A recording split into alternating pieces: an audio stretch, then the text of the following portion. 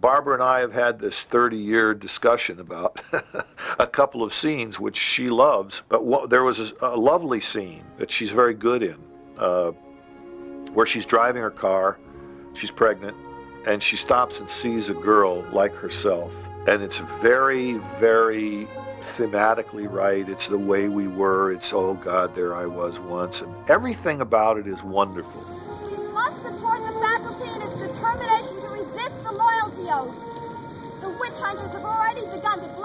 Our teachers, to put informers in our classrooms, our laboratories. If we let them go on, it's all over. Go back to Russia. Haven't you got anything better to do? must fight to stop them. That's the duty of our generation. Or this country will never grow up. Who does she think she is?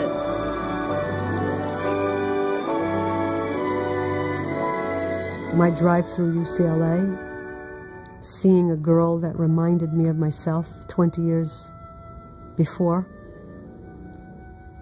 and what has happened to my character, what have I become, how have I sold out.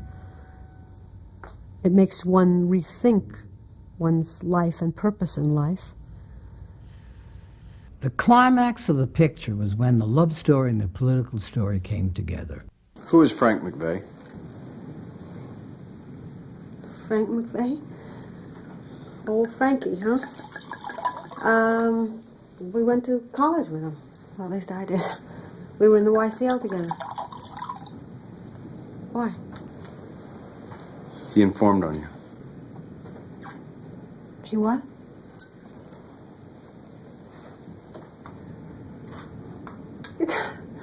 the little rat.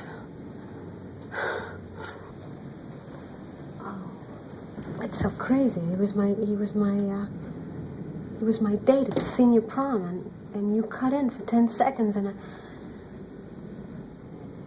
what could he tell them anyway? I mean, I left the party during the war, for God's sake. They don't care about that. But I'm a nobody. I mean, I, I haven't been near the studio for months. Um, oh God. Because I'm your wife? Someone has informed on her. And they said to him, You have a subversive wife. And if you continue to have a subversive wife, you're fired. What's the choice? Either she informs or he's fired. Couple, there is no justification for informing. None.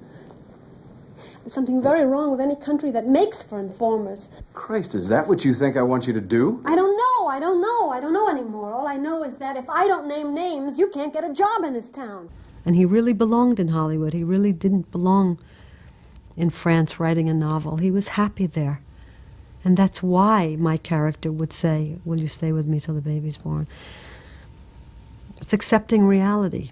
And it has character and it has strength and it has intelligence in that decision. But the way the movie is now, without those two scenes, it's um, it seems like uh, we broke up because he slept with a, another girl once. If we got a divorce, you wouldn't have a subversive wife. That would solve everything, wouldn't it? No. No, it wouldn't. It was a real sobering experience doing this because I've never had it happen quite so clearly and in such a black and white way. As we had two previews in San Francisco on a Friday night and on a Saturday night. It was a flop on a Friday night. It was a hit on a Saturday night. We didn't have a moviola.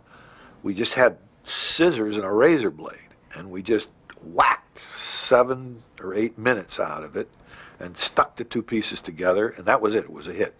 Literally as simple as that. I mean, usually it's, well, this story needs work and that story needs to change the front end. We didn't change anything. We just took out about five scenes, and they were all politics. This story reaches a point where you know these two people are finished.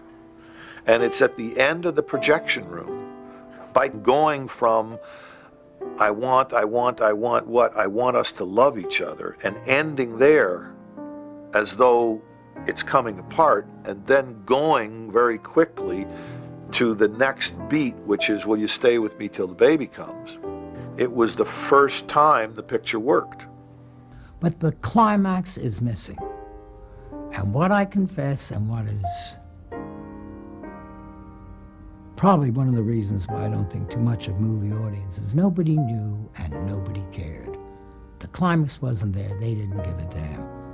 I think the person who cares most about the film is Barbra. There weren't many movies made about this period of time and the blacklist. And that's why it, it killed me to have those two scenes taken out. I was really heartbroken. I feel that there is real value in a lot of these scenes. But I made the decision at the time that uh, I was going to sacrifice some of those little moments, both for an overall shape that felt righter to me and for a, a certain amount of pace to the picture. I don't say to this day that I'm right.